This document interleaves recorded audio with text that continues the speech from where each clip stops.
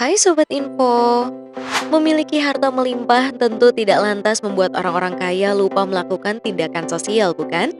Hal tersebut sering kali menjadi prioritas saat mereka memiliki kelebihan dana yang cukup besar. Nah, beberapa miliarder di dunia bahkan kadang-kala tak segan mengalokasikan dananya dalam jumlah besar untuk membantu sesama manusia, baik untuk peningkatan kesehatan, bantuan pendidikan, dan kesejahteraan. Ada beberapa alasan mengapa pemberian sumbangan dana menjadi prioritas. Pertama, karena mereka dulunya berasal dari kalangan bawah, dan yang kedua, mereka punya jiwa sosial yang tinggi. Nah, kira-kira siapa saja kah mereka? So, kalau kalian penasaran, yuk langsung aja simak pembahasannya di video kali ini. Tapi sebelum lanjut, jangan lupa untuk klik tombol like, subscribe, dan juga lonceng notifikasinya agar kamu selalu update video-video terbaru dari kami. Simak pembahasannya sampai akhir. Bill Gates Bill Gates memiliki kekayaan sebesar 90 triliun US dollar dan dari jumlah tersebut ia telah menyumbangkan sekitar 41 triliun US dollar untuk kegiatan amal loh guys. Nah, selain itu Gates merupakan pendiri dari Microsoft dan pernah menjadi pemegang saham terbesar perusahaan. Bersama istrinya, Gates mendirikan Yayasan Bill and Melinda Gates di mana yayasan amal tersebut merupakan yayasan amal swasta terbesar di dunia yang memiliki fokus pada kesehatan dan kemiskinan global. Selanjutnya, keluarga Gates juga telah menyumbang lebih dari 36 triliun US dollar sejak yayasan diluncurkan pada tahun 2000. Nah, selain itu, Bill Gates juga telah menyumbangkan triliunan saham Microsoft kepada organisasi. Kamu juga perlu tahu bahwa keluarga Gates bersama dengan Warren Buffett meluncurkan Giving Pledge bersama pada tahun 2010 lalu. Michael Dell Michael Dell memiliki kekayaan sebesar 22,7 triliun US dollar dan jumlah yang disumbangkan untuk kegiatan sosial keluar sebesar 2,2 triliun US dollar. Dell merupakan ketua dan juga CEO Dell Technologies, di mana dia juga menjalankan perusahaan investasi MSD Capital. Bersama sang istri, Dell mendirikan Yayasan Michael and Susan Dell pada tahun 1999 yang berfokus pada anak-anak yang hidup dalam kemiskinan. Selain itu, Dell juga telah menyumbangkan sebesar 36 juta US dollar pada tahun 2016 untuk membantu membangun kembali Houston setelah banjir besar dan kerusakan yang disebabkan oleh badai Harvey. Larry Page Larry Page mendirikan Google bersama dengan Sergey Brin pada tahun 1998 dan sekarang menjabat sebagai CEO Alphabet, yakni perusahaan induk Google. Page mendirikan yayasan Carl Victor Page yang dinamai sesuai dengan nama ayahnya pada tahun 2006. Selain itu, ia telah menyumbangkan ratusan ribu saham Google ke badan amal tersebut loh guys. Melalui yayasan dan Google, Page telah menyumbangkan dana sebesar 25 juta US dollar pada tahun 2014 untuk melawan Ebola. Selain itu, Page juga sudah duduk di Dewan Pengawas untuk X-Prize yang mengadakan kompetisi untuk solusi crowdsource untuk tantangan besar dunia. Mark Zuckerberg Mark Zuckerberg adalah salah seorang pendiri dan juga CEO Facebook loh guys. Kalian sudah tahu belum bahwa Zuckerberg dan istrinya yakni Priscilla Chan adalah beberapa orang pertama yang menandatangani Giving Pledge pada tahun 2010.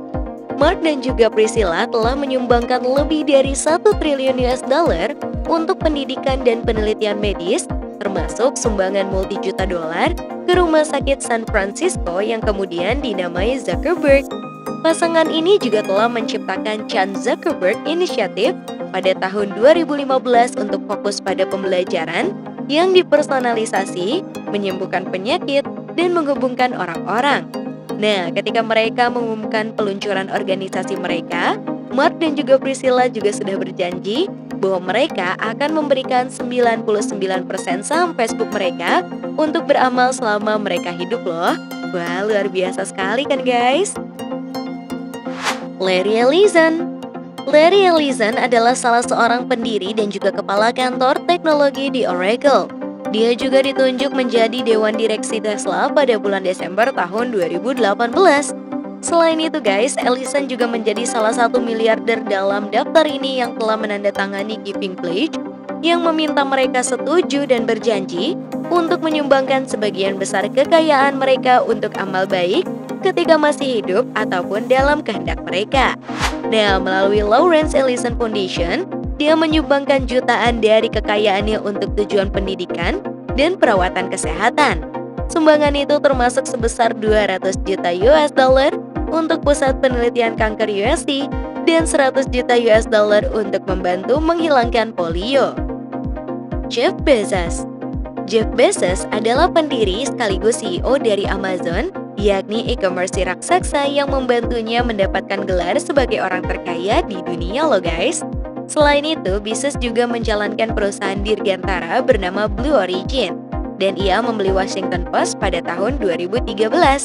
Kamu juga harus tahu bahwa Bezos mengumumkan pada September tahun 2018 bahwa ia telah meluncurkan Bezos Day One Fund yang telah menyumbangkan sebagian kekayaannya yakni sebesar 2 triliun US dollar untuk mendukung keluarga tunawisma dan membangun beasiswa penuh prasekolah yang terinspirasi dari Montessori. Masayoshi Son Masayoshi Son adalah pendiri sekaligus CEO dari SoftBank, sebuah perusahaan investasi besar Jepang yang menempatkan miliaran ke dalam startup teknologi seperti We Company, Slack, dan juga Uber. Sun telah menyumbangkan sekitar 120 juta US dollar untuk mendukung para korban gempa dan tsunami Jepang pada tahun 2011 yang mengakibatkan lebih dari 15.000 kematian loh guys. Selain itu, SoftBank juga menyumbangkan tambahan sebesar 12,5 juta US dollar dan Sun berjanji untuk menyumbangkan gaji tahunannya kepada para korban sampai ia pensiun. Sun juga pendiri sekaligus Presiden Mason Foundation yang berfungsi untuk mendukung mereka yang akan menciptakan masa depan. Jack Ma Jack Ma adalah salah satu pendiri dan juga ketua eksekutif dari Alibaba Group, salah satu perusahaan e-commerce terbesar di dunia nih guys. Dengan Jack Ma di pucuk pimpinan, Alibaba memiliki salah satu IPO terbesar yang pernah go publik pada tahun 2014. Jack Ma dan Alibaba telah berinvestasi miliaran di perusahaan teknologi loh, Selain itu, ketika Jack Ma mengumumkan bahwa ia akan pensiun dari perannya sebagai ketua eksekutif di Alibaba Group, ia mengatakan bahwa ia dapat mendedikasikan lebih banyak waktu dan uang untuk filantropinya, yakni Yayasan Jack Ma. Badan amal ini didirikan pada tahun 2014 dan memfokuskan upayanya untuk meningkatkan sistem pendidikan di Tiongkok, terutama di daerah pedesaan. Nah, yayasannya telah menyumbangkan sekitar 45 juta US dollar pada tahun 2017 untuk membantu menemukan dan menumbuhkan bakat mengajar di masa depan pada daerah pedesaan Cina. So, itu tadi adalah beberapa miliarder dunia yang ternyata menghabiskan banyak kekayaannya untuk kegiatan sosial seperti beramal. So, gimana pendapatmu? Silahkan tulis di kolom komentar ya guys. Terima kasih telah menyaksikan informasi dari kami, semoga bermanfaat. Jangan lupa juga untuk share ke teman dan keluargamu, agar bersama kita menambah wawasan dengan berbagi informasi bermanfaat. Sampai jumpa lagi di video selanjutnya. Bye!